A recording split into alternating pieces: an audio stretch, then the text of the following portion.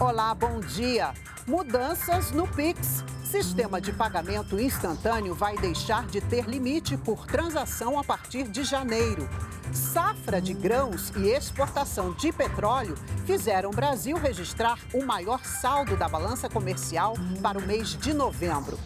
Ministério da Saúde lança campanha de conscientização e prevenção ao HIV/AIDS. Sexta-feira, 2 de dezembro, Brasil em Dia já está no ar.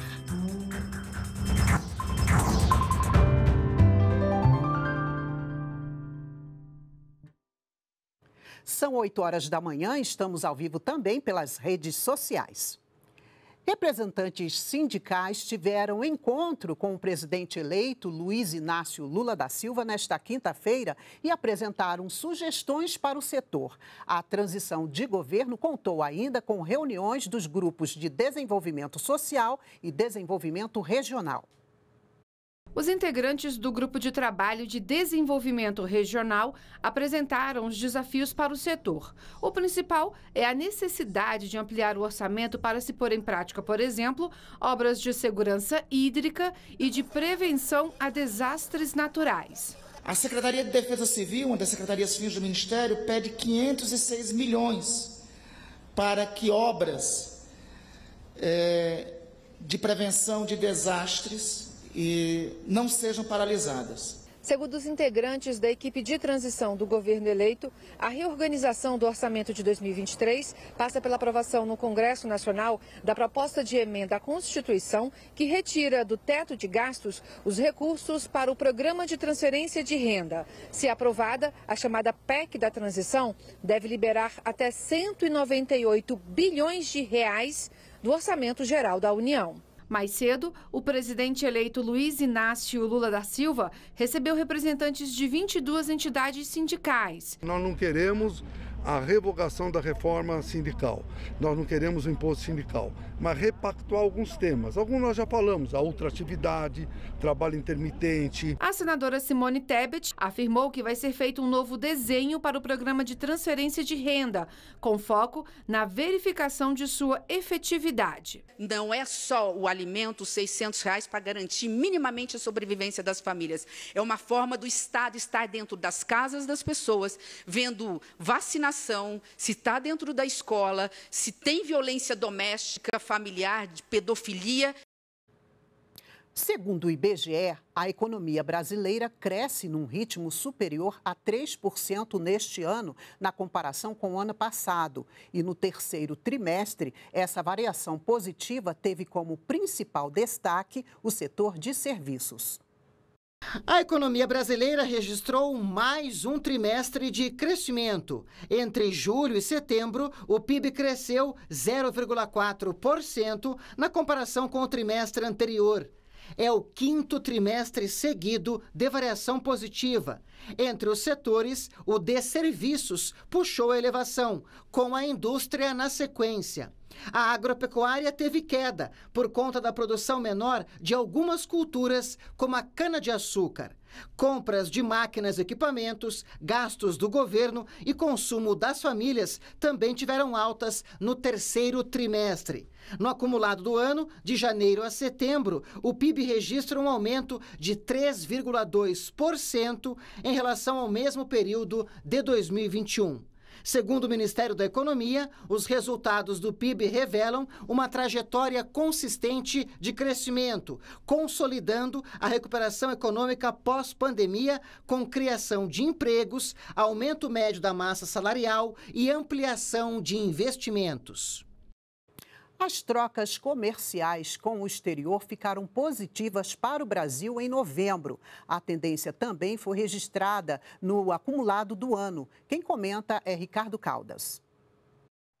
Olá, bom dia a todos. O nosso tema de hoje é o comércio exterior e vamos falar especificamente da balança comercial de novembro de 2022. As exportações em novembro chegaram a 28,2 bilhões e as importações a 21,5 bilhões, gerando um saldo ou superávit, como preferem os economistas, de 6,7 bilhões para o Brasil, apenas neste mês.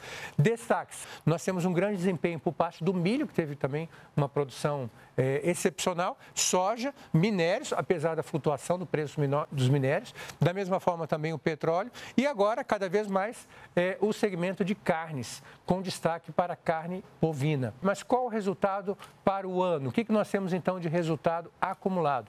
Até novembro, nós já estamos com exportações no nível de 300 bilhões de dólares, mais de 300 bilhões. E do ponto de vista das importações, nós tivemos até agora cravados ali em cima 250,8 bilhões, gerando então portanto, um superávit até o momento de 58 bilhões de dólares. Com isso, é, nós temos um setor exportador extremamente dinâmico.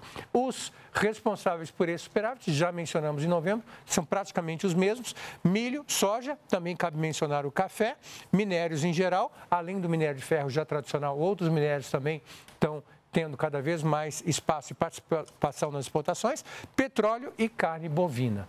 Essa informação que nós tínhamos para você hoje, continue conosco. Tenha um ótimo dia. A partir de janeiro, o Pix vai deixar de ter limite por transação. A medida foi anunciada pelo Banco Central. Vamos a São Paulo conversar ao vivo com a repórter Júlia Ballarini, que tem mais informações para a gente. Bom dia, Júlia. Bom dia, Mara. Bom dia para você também que está nos acompanhando. Essas mudanças passam a valer a partir do dia 2 de janeiro do ano que vem.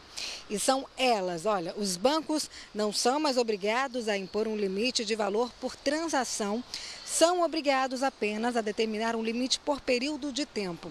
Exemplo, quem tem um limite diário de 3 mil reais pode gastar todo esse valor em apenas uma transação.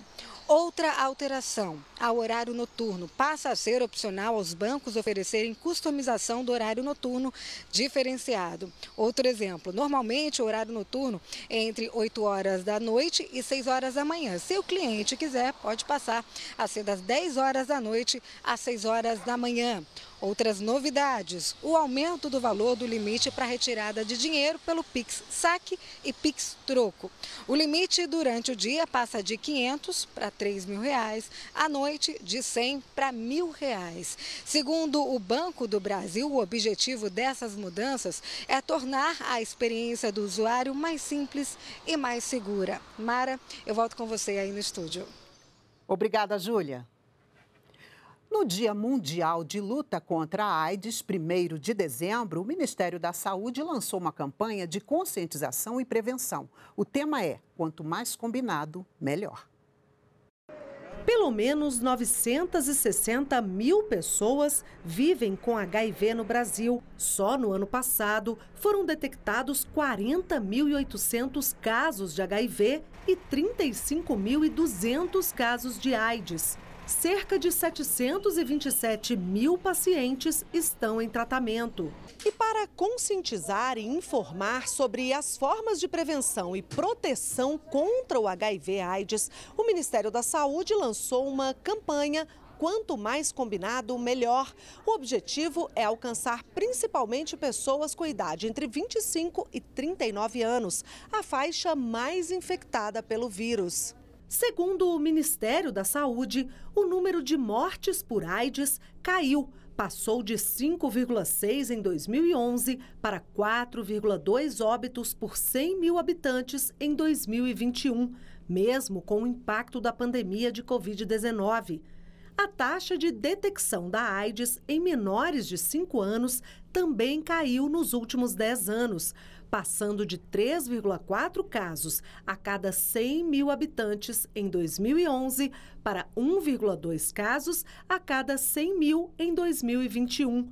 Já a taxa de detecção de HIV em gestantes aumentou 35% no mesmo período. E estima-se que cerca de 120 mil pessoas vivem com o vírus HIV e não sabem. Para que o número de infectados continue caindo, o Ministério da Saúde atualizou o protocolo das profilaxias pré e pós-exposição ao HIV. A profilaxia foi atualizada para todos os adultos e adolescentes com mais de 15 anos sob risco de infecção. A PrEP hoje não é mais só para populações específicas, mas é para quem precisa e um adendo, né? A gente tem medicamentos suficientes para bancar essa recomendação. 43 cidades no Brasil já acabaram com a transmissão vertical do HIV, aquela de mãe para filho. No mês que vem, deve começar a distribuição de um medicamento, o Dolutegravir 5 miligramas, para crianças vivendo com HIV/AIDS com mais de quatro semanas de vida. O presidente Jair Bolsonaro participou em Brasília da cerimônia de promoção de novos oficiais generais do Exército. Foram 10 promoções de generais. Apenas um dos oficiais superiores se tornou quatro estrelas, atingiu a maior patente da carreira militar, a de general de exército. Outros quatro foram elevados ao posto de general de divisão e cinco coronéis passaram para a patente de general de brigada.